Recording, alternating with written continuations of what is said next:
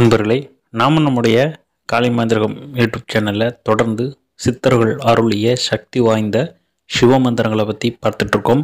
அந்த வகையில் இன்றைக்கு பார்க்கக்கூடிய சிவமந்திரம் என்ன அப்படின்னா ஓம் லிங்க் நய வஷிம என்று சொல்லக்கூடிய சிவமந்திரம்.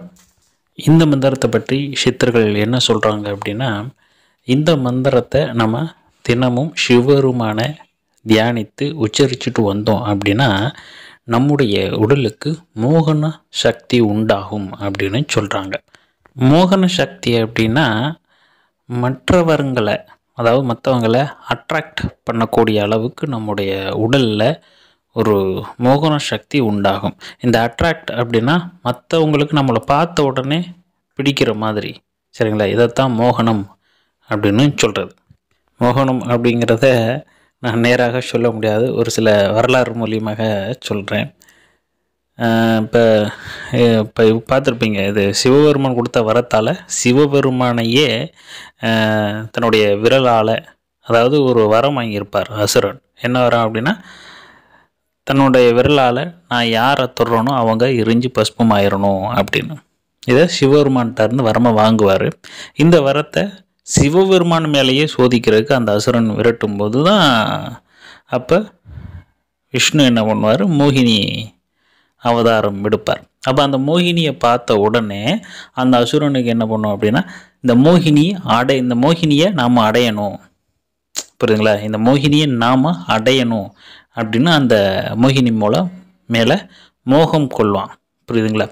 இதைத்தான் மோகனம் அப்படின்னு சொல்கிறது ஒரு விஷயத்தை ஒரு ஆணையோ ஒரு பெண்ணையோ அடையணும்னு நினச்சி அவங்க மேலே விருப்பப்படுறதுக்கு பேர் மோகனம் அப்படின்னு பேர். வசியத்துக்கும் மோகனத்துக்கும் வித்தியாசம் இருக்குது சரிங்களா? வசியம் அப்படிங்கிறது பொதுவாக நமக்கு எத்தனையோ பேரை பிடிக்கும்.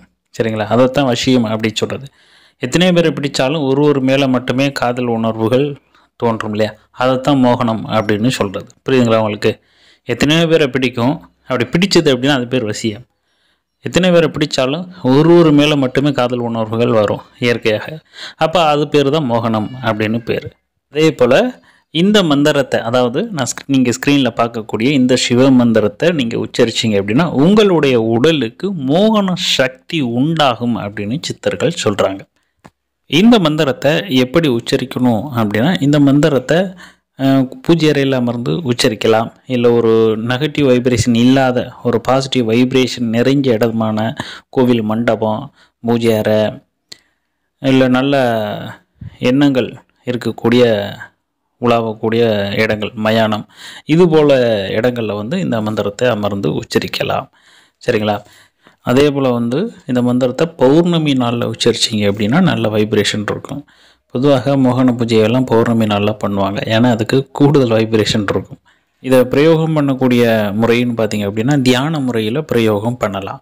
அதாவது சிவபெருமான மனசில் நினச்சிட்டு வணங்கி உங்களுடைய முன்னோர்கள் குலதெய்வம் விநாயக பெருமானையும் வணங்கிட்டு என்ன பண்ணுறீங்க ஒரு பத்மாசனம் தரையில் ஒரு விரிப்பு வச்சு உங்களுக்கு முடிஞ்ச ஒரு ஆசனத்தில் உங்களால் எப்படி உட்கார முடியுமோ சௌகரியமாக அப்படி உட்காருங்க. உட்காந்துட்டு மனசை ஒருநிலைப்படுத்திட்டு மூச்சு காற்றை இழுத்து உள்ளடக்கி கொண்டு இந்த மந்திரத்தை சொல்லிவிட்டு அதன் பிறகு மூச்சை விடுங்க. சரிங்களா? இது போல் தொடர்ந்து பயிற்சி எடுத்துகிட்டு வந்தீங்க அப்படின்னா உங்கள் உடலில் பார்த்தீங்க அப்படின்னா நீங்களும் ரொம்ப ஆக்டிவாக இருப்பீங்க. நல்லா சுறுசுறுப்பாக இருப்பீங்க. இந்த மந்திரத்தை பிரயோகம் பண்ணும்போது. அதே போல் வந்து உங்களுடைய உடல் பார்த்திங்கன்னா ஒரு கலையாக இருக்கும். புரியுதுங்களா? உங்களுடைய உடல் முகம் பார்த்தீங்க அப்படின்னா கலையாக இருக்கும். மற்றவங்க பார்த்த உடனே உங்களை பிடிக்கிற அளவுக்கு உங்களுடைய முகம் மாறும். இதைத்தான் மோகன சக்தி அப்படின்னு சொல்கிறது இதை வந்து ஆண்கள் பெண்கள் சொல்லிட்டு யார் வேண்டுமானாலும் பிரயோகம் பண்ணிக்கலாம் தவறு கிடையாது. குரு சொல்லுவாங்க இதெல்லாம் அந்த காலத்தில் அரசர்கள் ஒரு சில அரசர்கள் இதை மோகன சித்தி பண்ணுவாங்களாம். அதாவது எல்லா அரசர்களும் கிடையாது ஒரு சில அரசர்கள் இந்த மோகன சித்தி பண்ணுவாங்களாம். பொதுவாக எந்த ஒரு சிவமந்திரத்தை நீங்கள் உச்சரிக்கும் போதும் பார்த்திங்கன்னா உங்களுடைய கர்ம வினையை குறைக்கணும். அதுக்கு என்ன பண்ணணும் அப்படின்னா இந்த மந்திரங்களை உச்சரிக்கக்கூடிய காலகட்டத்தில் முடிந்த அளவுக்கு ஈ எறும்புக்காவது உணவு அளிச்சிட்டு வாங்க ஏதாவது ஒரு உயிரினங்களுக்கு உங்களால் முடிஞ்ச அளவுக்கு உயிர் உணவு வழங்கிட்டு வரலாம். இது உங்களுடைய கரும வினையை குறைக்கும். இதனால் உங்களுடைய மந்திரம் நீங்கள் உச்சரிக்கக்கூடிய மந்திரம் நல்லா பலன் தரும். குயிக்காகவும் ரிசல்ட் இருக்கும். இதுபோல் உங்களை கண்டு மற்றவங்க மோகிக்கக்கூடிய அளவுக்கு உங்களுடைய தேகம் இருக்கணும் அப்படின்னா அதற்கு சித்தர்கள் சொல்லி இருக்கக்கூடிய மந்திரம் என்ன அப்படின்னா ஓம் லிங்க் நய வஷீம என்று சொல்லக்கூடிய மந்திரம். இந்த வீடியோ பற்றி உங்களுக்கு பிடிச்சது அப்படின்னா நம்மளுடைய சேனலை மறக்காமல் சப்ஸ்கிரைப் பண்ணுங்கள் நன்றி வணக்கம்.